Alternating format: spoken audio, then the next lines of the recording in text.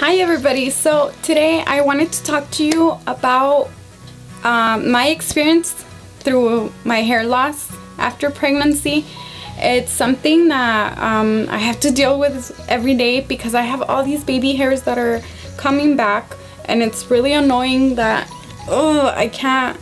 And then I don't like wearing hairspray and I don't like wearing gel. So I wanted to make this video because I was actually trying to do my hair today and it's really annoying because um, Uh, there's nothing that I can do with these like tiny hairs and it's really annoying. It was a blessing and then it's like now it's kind of annoying because I there's little that I can do with my hair and it's really annoying. When I was pregnant I loved my hair. It got because of the uh, prenatals um, it started growing super fast. My skin was beautiful, my nails were growing, um, my hair, I would take so long for my hair to actually grow out and it would take years actually for my hair to grow out. So in those nine months, my hair grew out like this.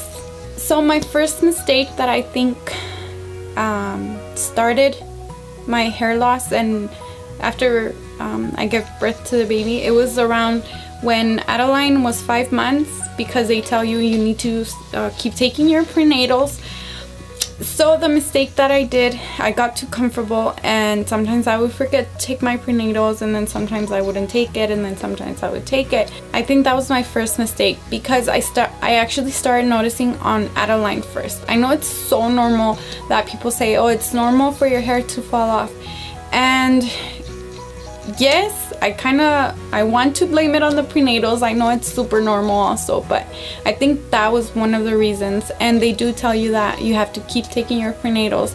Um, I don't know anybody that actually kept taking their prenatals and their hair started falling off. So I don't know if it's like a connection to the vitamins and um, to help your body, you know, have the, the right vitamins and stuff. So I started noticing on the baby first. I'll put up some pictures to compare so you guys can see how her hairstyle started falling off.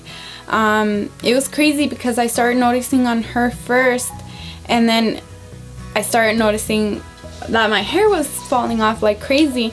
I would wake up in the morning and there was like balls of hair in the pillow and it was kind of scary because you don't want to see that, you know? And then of course when I would shower there was like balls of hair, like balls. It was like so much hair.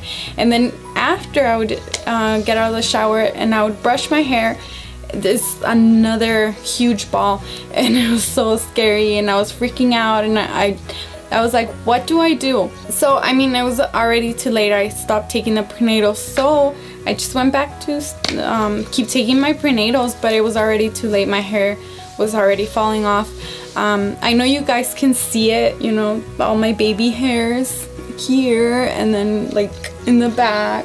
It's really thin now, how it used to be when I was pregnant. Anyways, so I suggest girls even if you're not breastfeeding if you're breastfeeding doesn't matter don't stop taking your prenatals because your body has to get used to uh, going back to how it used to be. I know it's totally normal. Don't freak out. It happens to most of of us. Just know that uh, your hair might fall off. Not all of it of course but it, that's something that you're gonna have to deal with. And hopefully it doesn't because oh my god it's it's kind of crazy. I, I don't want anybody to go through that but I know it's totally normal. It's part of the greatness of being a mom right? But it's fine because hair grows back so. Good morning girls ignore my horrible face. I just woke up and got to shower. But I wanted to show you what I mean with the hair